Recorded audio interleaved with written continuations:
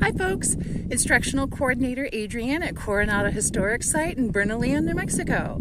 Today, as part of our ongoing series highlighting the native plants of Coronado Historic Site and the Rio Grande Valley, I'm going to introduce you to a new plant. This is the pink flowering hedgehog cactus, also known as Fendler's hedgehog cactus. Its scientific name is Echinocereus fendleri.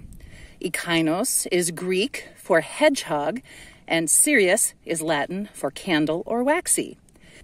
It is named in honor of Augustus Fendler, a German American plant collector who collected this cactus in Santa Fe during the Mexican American War in 1846 while he was traveling with the U.S. Army.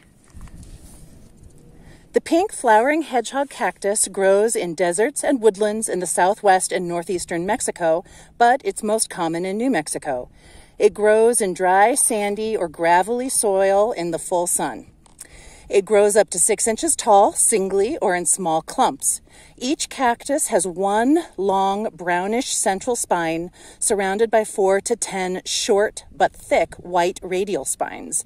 The large flowers are magenta, two to four inches across, with bright yellow filaments and a sticky green stigma.